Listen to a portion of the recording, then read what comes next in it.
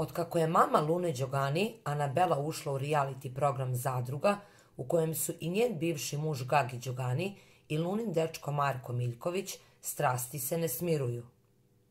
Nakon jedne večeri koje su obeležile svađe bivših partnera, a njenih roditelja i njene majke Miljkovića, Luni je pozlilo u izolaciji, a Gagi se toliko uplašio da je počeo da doziva produkciju da hitno dođu po nju i izvedu je. Luna je počela da se guši, a onda je počela da povraća, što je uznemirilo Gagija koji je skočio i dozivao produkciju.